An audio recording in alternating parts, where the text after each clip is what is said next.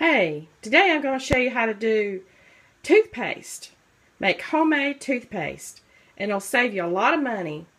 And there will not be any fluoride in it. And we all know that fluoride is very bad for your thyroid and many other parts of your body. It's just bad chemicals. Um, find out the history of fluoride and when it was started and why it was started to, uh, to be put in toothpaste. It is a byproduct of fertilizers, and there was a lawsuit about it, and they made it sound like it was good for you. It is a chemical that's bad for you. Anyway, I'm going to show you how to make toothpaste. Here we have coconut oil, and we're going to do two tablespoons of coconut oil. We're going to do one tablespoon of baking soda, and then we're going to add a few drops of that'll focus, peppermint oil.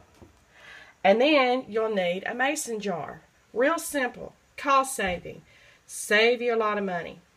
Alright, I'll get back with you in just a moment. Okay, now um, I have put in the two tablespoons of coconut oil and one tablespoon of baking soda. And now I'm going to put just a few little drops of peppermint oil. Alright, I put eight or nine drops. It just depends on how strong you want your peppermint. You just have to um, add a little more or uh, just put in a little less. Alright, now we're going to mix it up. Okay, now we're just going to mix it up. Whoops. Alright, I'm going to finish mixing it up and I'll get back okay, when you need to use it, you just take the spoon and spoon it on uh, your toothpaste and I mean your toothbrush and just start brushing your teeth.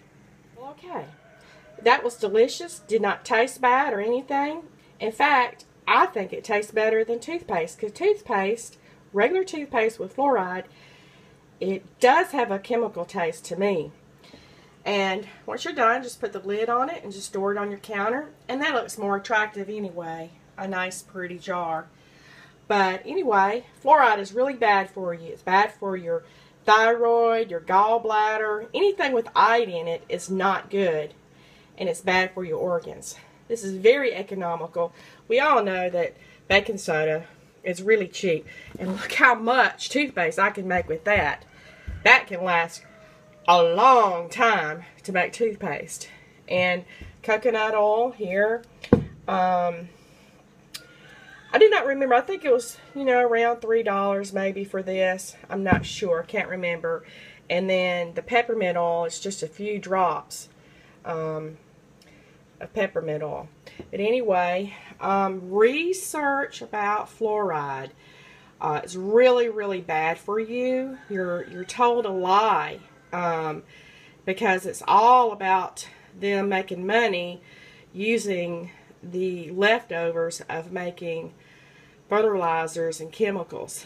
Um, United States is the only country in the world, I think, that puts fluoride in their toothpaste. Um, we are a dumping ground for so many things um, here in the United States. It's just pathetic.